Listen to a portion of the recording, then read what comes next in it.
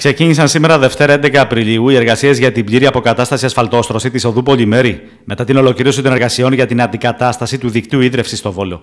Λόγω των ειδικών συνθήκων που δημιουργούνται, υπάρχει κάλεσμα προς τους συμπολίτες να μην σταθμεύουν τα αυτοκίνητά τους στη συγκεκριμένη οδό και να προτιμούν την κίνησή τους από παράλληλους δρόμους, ώστε οι αναγκαίες εργασίες να εκτελούνται απρόσκοπτα και να ολοκληρωθούν το ταχύτερο δυνατόν, ώστε να περιοριστεί και η αναπόφευκτη όχληση που θα προκύψει.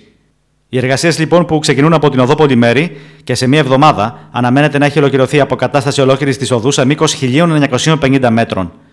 Το έργο αρχίζει παρά τη δύσκολη οικονομική συγκυρία, εξαιτίας της οποίας η τιμή των ασφαλτικών έχει εκτοξευτεί ακόμη και σε τετραπλάσια τιμές. Ο Δήμαρχος του Βόλου κ. Μπέος τόνισε ότι αρχίζουμε σε μια περίοδο κρίσης. Πολλοί εργολάβοι αναρωτιούνται πώς θα καταφέρνουμε. Το έργο θα γίνει, έστω και αν χρειαστεί μικρή παράταση. Ο εργολάβος συμπλήρωσε ο Δήμαρχος που προέκυψε από διεθνή διαγωνισμό. Ευελπιστεί ότι οι τιμές θα αρχίσουν σταδιακά να μειώνονται. Ο Δήμαρχος πάντως ζήτησε τη συνεργασία των πολιτών. Αναφέρθηκε και στο έργο αντικατάστασης του δικτύου ίδρυυση στην πόλη, το οποίο έχει ολοκληρωθεί σε ποσοστό 60 έως 70%, με το οποίο η πόλη θα εξασφαλίζει καθαρό πηγαίο νερό και θα μειώσει το ποσοστό διαρροών. Σύμφωνα με τον Δήμαρχο, κάθε εβδομάδα θα ανακοινώνεται σε ποιους δρόμους θα γίνονται έργα ασφαλτόστρωσης.